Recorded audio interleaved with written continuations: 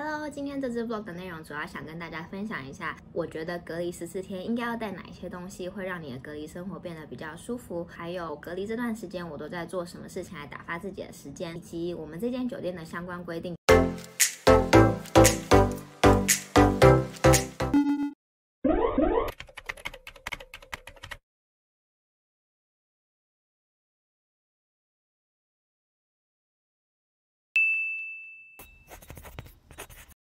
首先呢，我先从清洁用品的部分开始。清洁用品呢，我有带一个五百 ml 的酒精喷雾、抹布、一袋的酒精湿纸巾，我自己还有带洗手液，这样子我每天就可以做一些基础的清洁。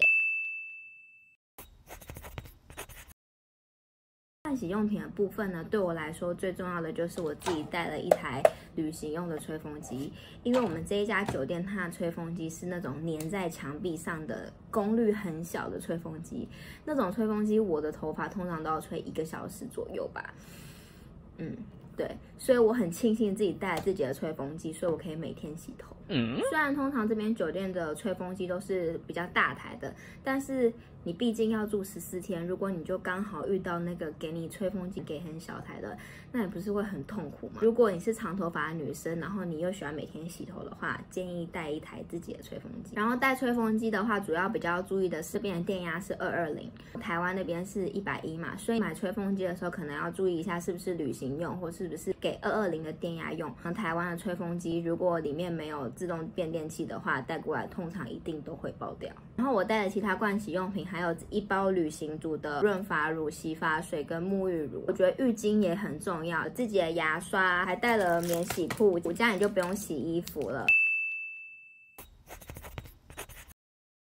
然后日常用品的部分，我觉得马克杯非常重要，因为我这间酒店它就没有提供给我马克杯，所以我冲泡很多东西的时候其实很常用到。我还带了我的保温瓶，这样子你烧完热水之后，剩下可以放进去，之后等一下喝。我还建议你可以带一条长裤，因为像我这间酒店，它的被子比较多棉絮，我我睡的第一天跟第二天感觉到非常的痒，所以我必须要穿长裤睡觉，我才比较舒服一点。你也可以像我一样去网络上买一次性的床单跟被套，或者是枕头套，但是就是怕你的酒店不给你叫外卖，所以以防万一，你还是可以带一条自己的长裤，反正你平时早上的时候你都可以穿，也会比较舒服。还可以带一件就是薄薄的外套或者是一个披巾。我自己还有带一双拖鞋、小电扇，因为有些酒店它是不给你开空调的，所以以防万一，我上网买一个小电扇、延长线，这一些我都有用到。比如说自己的筷子啊，还有喝汤的汤匙，呃，就是泡东西的搅拌棒，然后刀啊，一个泡泡面的碗。吃的部分呢，我真的非常建议带一些自己喜欢的调味料，像我自己就带了一罐我非常喜欢的胡椒盐。我每天早上吃水煮鸡蛋的时候都会用到它，你就会觉得你的食物变得非常美味。我带了自己的海苔，最后几天我真的有点吃腻它的隔离餐的时候，我就开始自己包韩国饭团吃。那你可以带一些罐头啊什么的，可以配饭。我觉得维他命也可以带一点，因为其实这边吃隔离餐，你每天摄取的营养都不是非常的充足，所以其实维他命 C 啊、维他命 B 都可以带一点。最后呢，我觉得非常重要的是，你一定要带一些自己看了会非常开心的东西，比如说像我是一个很喜欢香味的人，所以我就带自己喜欢的香氛蜡烛，然后每次。心情不好的时候，我就会闻一下它，我就会觉得很开心。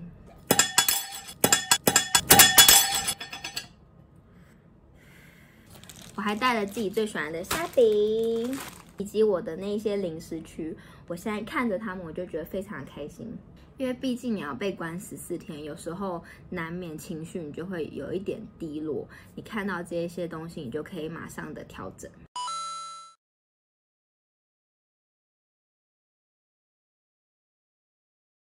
接下来分享一下我隔离的时候都怎么打发时间的。我下载了非常非常多的剧，电视剧啊、电影各种类型，悬疑、爱情、喜剧、综艺都有下载。因为你长时间看同一部类型的剧，你会腻，你会无聊，所以你要下载很多很多的选择。然后我带几本书，跟我带一把乌克丽丽，就是有时候可以练一下。我觉得很好打发时间的方式是剪片耶，因为我真的花很多时间在剪片上面，跟学习怎么挑音乐啊、制作背景等等之类的。我觉得那还蛮花时间的，你时间会过得很快。所以如果来隔离的话，有兴趣也可以练习怎么样拍片啊，然后跟剪片，嗯。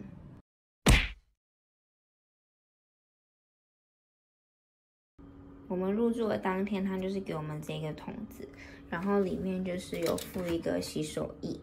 消毒片，要丢进马桶里的体温计、消毒体温计的酒精棉球。我们酒店有提供这个二合一洗发乳，然后跟沐浴乳。我们酒店规定每天量两次体温，一次是在早上的八点钟，一次是在下午的两点钟。酒店通常都会给你一个水银的体温计，如果你用不习惯的话，你可以像我一样带一个。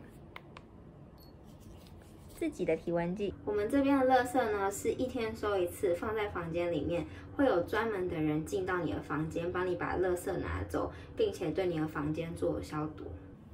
我们的用餐时间呢是每天的八点吃早餐，十二点吃午餐，晚上六点吃晚餐。他们送餐给你的时候会打电话跟你说可以出去领你的饭盒了，但是你开门之前你要从鹰眼检查一下走廊是没有人的状态，你才把门打开，然后取走你的饭盒。外卖呢，我们酒店一天只送一次，在晚上六点的时候跟晚餐一起送到你的房间，所以你必须在六点之前就把外卖叫到门口。不然的话，它只能够隔天的六点再帮你送上来。这边的外卖规定不可以叫任何热的食物，只能够叫包装完整的食物，比如说零食啊、是泡面等之类的。水果的部分只能够叫整颗的水果，不可以叫切好的水果。那我自己也有尝试过叫手摇饮啊，跟海底捞的自制火锅，有点像泡面包的那一种，但是这两个酒店也是不让送上来的。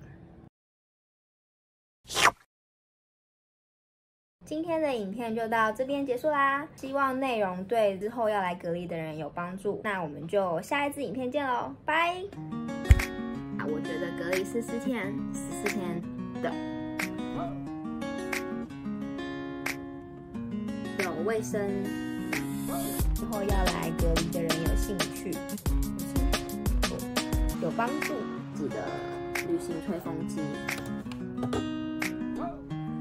Oh, bless me.